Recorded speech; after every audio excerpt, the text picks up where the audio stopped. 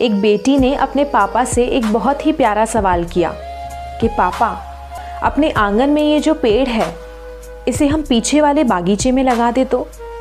पिता असमंजस में पड़ गए और बोले कि, बेटी, ये चार साल पुराना पेड़ है। नई जगह, नए माहौल और नई मिट्टी में ढल पाना मुश्किल होगा। तब बेटी ने आँखों में आँसू लिए कहा कि, एक पेड़ और भी है आपके आँगन का, जो 22 साल पुराना है। क्या वो नए माहौल में ढल पाएगा?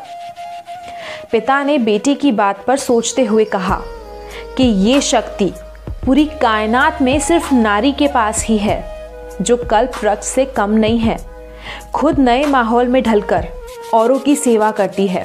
कि खुद नए माहौल में ढलकर औरों की सेवा करती है ताउम्र उनके लिए जीती है और वो बेटी से ही माँ, बहन और पत्नी बनती है।